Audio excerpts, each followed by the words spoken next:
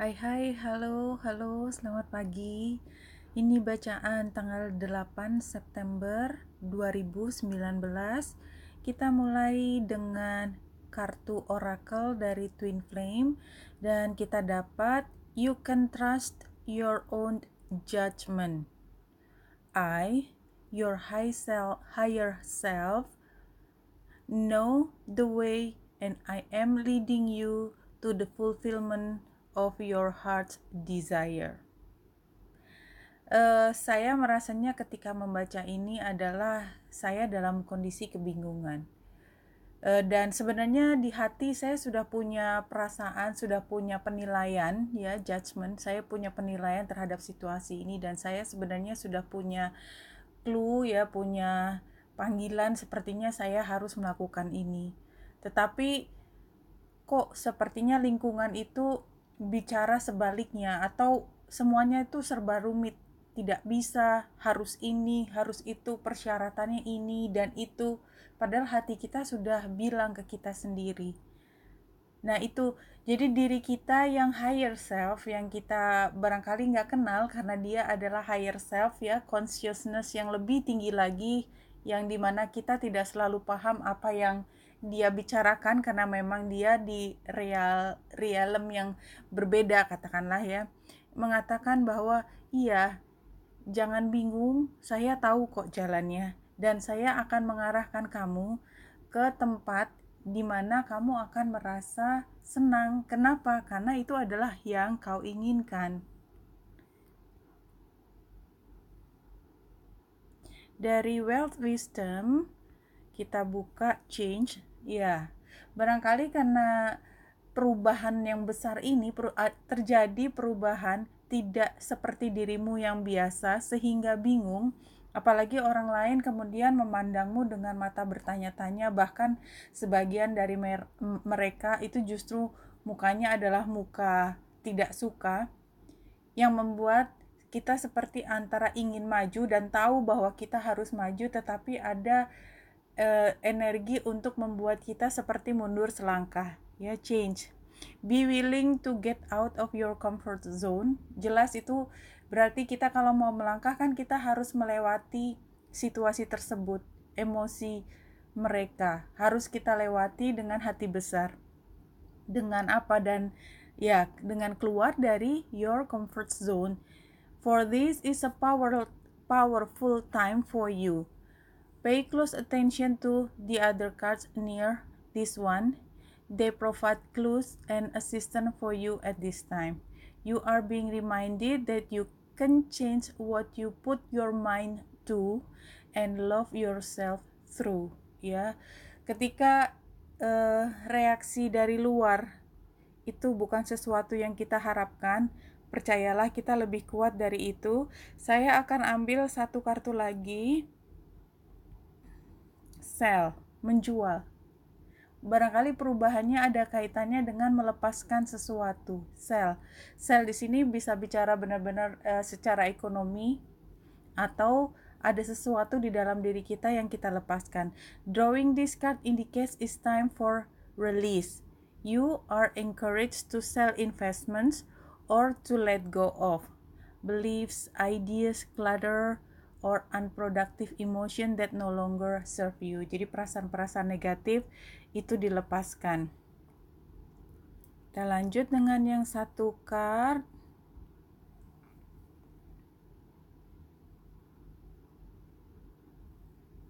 Paling atas, root, akar. Angel of Genesis. This card points to the root of problems. It takes us back to the past, back to when the circumstances leading to certain situation between you and another person today first emerge ya. Uh, kembali lagi dulu sebenarnya kenapa orang lain memberi kita reaksi yang negatif? Kembalikan sebenarnya ketika bertemu pertama kali apa yang kita janjikan kepada dia? Apa yang kita inginkan lakukan bersama dia. Ada sesuatu yang kita harapkan datang dari hubungan tersebut. Hubungan antara kita dengan pekerjaan kita, hubungan antara kita dengan orang tua kita, kita dengan saudara kita, kita dengan teman kita. Bahwa kita ini contohnya ya, bahwa kita datang ke sini bertemu dengan mereka karena kita belajar untuk saling mencintai, saling menghormati, ya dan paham bahwa setiap orang punya jalannya masing-masing. Itu misalnya ya. Jadi jangan ketika kita udah sampai satu titik di mana kamu harusnya membayar ini kamu harusnya membayar ini kamu belum ini utangnya belum selesai itu adalah perkembangan setelah itu.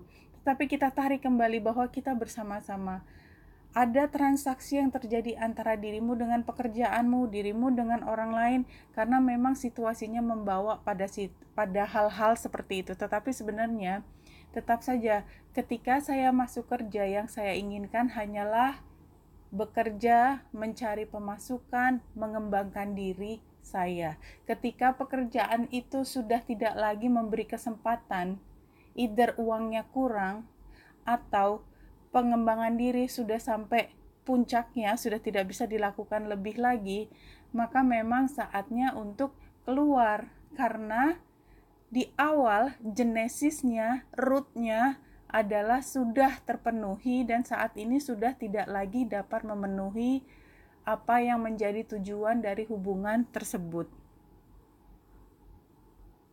Saya ambil kartu yang tiga untuk Oke.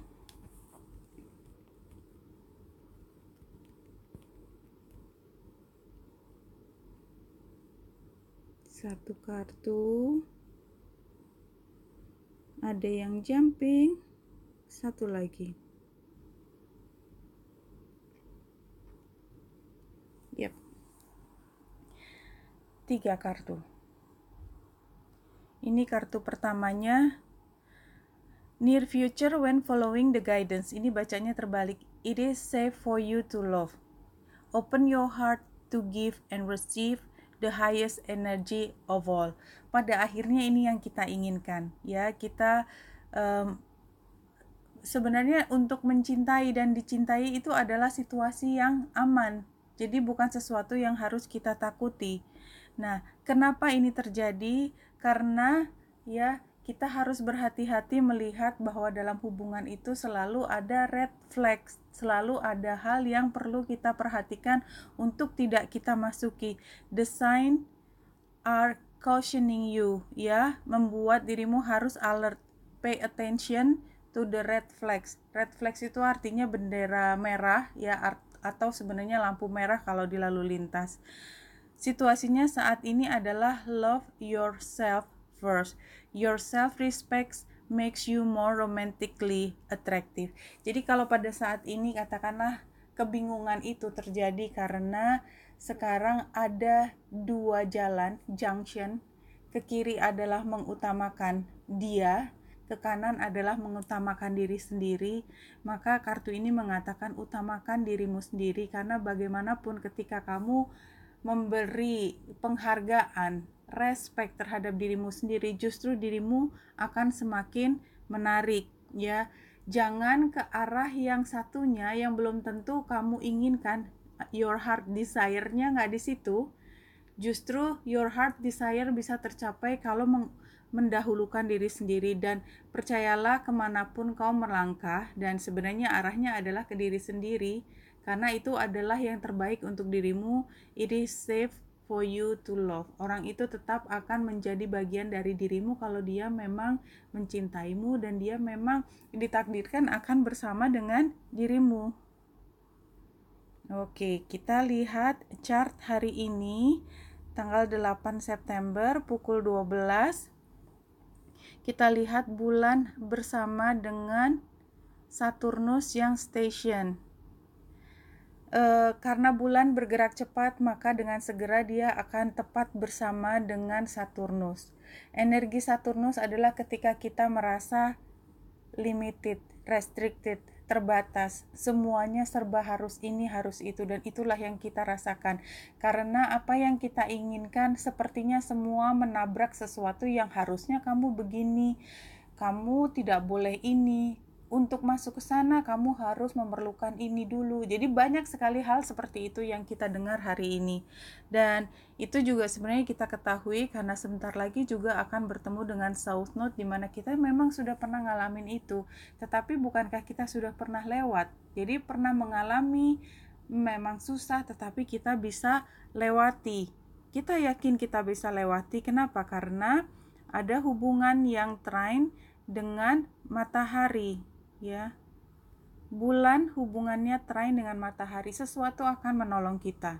Ya kita hanya perlu untuk yakin kita bisa karena masalah ini tidak mungkin diberikan kepada kita kalau kita belum siap. Memang pada saat ini yang membuat kita menjadi uh, katakanlah tegang tension adalah karena ada tokoh otoritas tokoh seperti guru ayah eh biasanya maskulin tetapi tidak harus laki-laki ya maskulin tuh artinya memiliki otoritas untuk membuat kamu mengubah atau uh, sesuai dengan arah pikirannya dia ya. Itu juga bisa ibu ibu mertua dan lain sebagainya. Itu yang punya otoritas untuk mengubah dirimu. Dan ini kita lihat yang menjadi tegang karena dia bertemu dengan matahari Merkurius dan Venus serta masih sangat dekat dengan Merkurius. Jadi eh, yang menjadi tekanan buat eh, diri kita adalah ketika kita merasa agresivitas kita harus ditegang. Kemudian apa yang kita anggap nih agresivitas apa yang kita anggap sebagai berharga juga ditekan. Begitu juga kalimat-kalimat kita harus sangat berhati-hati berbicara karena itu bisa menimbulkan kesalahpahaman kesalahpahaman bisa terjadi karena pada saat ini Neptunus pun seperti memberi kebingungan kepada kita. Tapi yakin karena di sini juga ada sextile, kebingungan itu sebenarnya bisa dijelaskan, bisa dibicarakan menjadi hal yang lebih katakanlah produktif. Saya melihat untuk chart yang ini tentunya yang lebih detail yang tidak terlihat di uh, yang besar adalah pesta dengan ini. Kemudian kita lihat juga Palas Athena yang quincunx dengan Chiron. Oke. Ini dengan bulan. Jadi kita lihat bulan memang sedang uh, square dengan Chiron yang artinya memang kita seperti mengambil lagi peristiwa-peristiwa masa lalu ketika kita merasa ditekan, merasa kita diperlakukan tidak semestinya, tetapi kita sudah tahu bahwa berdasarkan pengalaman itu yang kita dapat bukanlah hanya penderitaan saja tetapi pembelajaran yang penting dalam hidup. Ya, dan Eris yang eh, tension dengan Pluto itu membuat kita berpikir bahwa kita lebih dari itu kita tidak hanya datang ke sini untuk memporak-porandakan pesta tanda petik ya. Jadi ada sesuatu yang kita capai kita ingin bergerak dari situ dan artinya kita mencapai sesuatu yang lebih baik. Iya tidak semua orang suka dengan pilihan kita padahal kita tahu kalau kita tetap berada di situ kita tetap di kubangan toksik dan kita ingin pergi, tidak semua orang rela melepaskan kita. Kenapa? Karena sebagian dari kontribusi kita barangkali mereka pikir akan hilang bersama kepergian kita. Pergi tanda petik ya. E, pergi adalah keputusan kita untuk tidak meneruskan dalam situasi yang sangat membingungkan.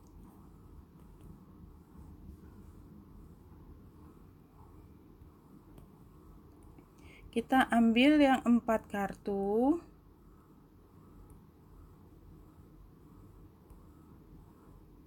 Iya. Hari ini uh, kita perlu menjadi King of Sword. Ya situasinya mau tidak mau membuat kita bergerak menjadi seorang yang sangat logis dan mampu melihat situasi secara objektif. Kenapa? karena toh kalaupun semua emosi yang dimunculkan ke kita terlalu banyak overwhelming kemudian mau nggak mau kita nggak bisa ngikutin itu kenapa karena simply terlalu banyak terlalu banyak sehingga mau tidak mau akhirnya kepala kita, otak kita mulai memproses apa pun informasi walaupun informasinya adalah tentang emosi, perasaan, judgment, tetapi kemudian kita berpikir, enggak, ini logikanya adalah seperti ini. Dalam situasi A dan B tentunya situasi B akan lebih logis buat saya untuk ambil keputusan. Itu situasinya hari ini dan ini adalah tantangannya kasihan dengan seseorang yang melas walaupun sebenarnya kita tahu dia mungkin punya agenda di balik itu tetapi kalaupun tidak punya agenda di balik yang dia inginkan kita tahu apa yang terbaik buat kita kok. Artinya kita juga tahu give and take-nya. Kalau kita kembali ke situ kita tetap harus bayar sekian banyak padahal kita kalau keluar bisa mendapatkan lebih dari itu. As simple as that. Jadi sudah lakukan ini saran lakukan apa yang terbaik untuk dirimu ya. Walaupun itu baru sama sekali sehingga hasilnya adalah kamu bisa pertimbangkan sendiri kok give and take-nya. Yang kamu ambil yang kamu lepaskan itu bukan sesuatu yang uh, katakanlah kamu mengambil haknya orang lain tetap yang kau pegang adalah haknya kamu. Yang kau berikan kepada orang lain adalah memang haknya dia. Ya pastikan itu balance ya saya ambil self love untuk hari ini. Ambil yang 5 card. Kartu pertama kartu kedua ketiga keempat kelima. Oke ini situasinya. Situasinya mourn sedih bingung. Kita lihat mukanya sedih semua. Grieving can be overwhelming but necessary ya. Kalau ada sesuatu yang kita ingin lepaskan ya kita merasa sedih. Dan itu adalah satu hal yang biasa bahkan dibutuhkan. You need to let your feelings wash through you before you can move past the pain. Sebelum kita bisa melepaskan semua rasa sakit ya yang ditimbulkan karena kita harus melepaskan sesuatu kita memang harus merasakan sakit ya. Kayak kita terluka ya kemudian kita harus membiarkan luka itu tidak bisa dibuang rasa sakitnya kita lewati sampai dia sembuh. Ini adalah tantangan ya. Challenge love all. Your compassion is incomplete until it includes yourself. Release self judgment self punishment and self sabotage ya jadi fokus pada dirimu sendiri ya love all mencintai semua itu artinya memasukkan unsur dirimu dalam cinta kepada semua tersebut. Jangan lupa ya di antara siapa yang kau cintai itu lupa di dalam daftar adalah dirimu sendiri. Solusinya adalah create. Everyone has the ability to create life a life of joy It is your birthright to manifest your desire and the life you wish to experience. Satu hal yang pasti, ini adalah hakmu untuk mencari kebahagiaan di jalanmu. Setiap orang punya jalan beda-beda. Dan itu juga haknya mereka, kalau kau pikir-pikir, untuk menciptakan kebahagiaan dari hidupnya sendiri tanpa harus tergantung pada orang lain, termasuk dirimu. Advice-nya adalah spend time alone All decisions should be made by yourself. Give yourself the time and space to seek the answers within rather than without. Ya, jadi fokus pada diri sendiri uh, dan memang berpikir adalah untuk diri sendiri. Jangan kacaukan pikiranmu dengan banyak variabel yang sebenarnya bukan hal yang utama dalam pengambilan keputusan. Jadi cobalah untuk melihat mencari jawabannya di dalam diri sendiri. Karena kalau terlalu banyak mengambil masukan dari orang kita akan bingung. Ini hasilnya adalah break free melepaskan diri ya let go of your past action and the judgment of others. You can discard what no longer works for you oke? Okay? bebaskan dari semua yang mengikatmu yang tidak membuatmu tumbuh yang tidak membuatmu bahagia. break free, lepaskan, keluar dari situasi tersebut. Oke, Wenita Indrasari di sini semoga membantu salam hati dan cahaya.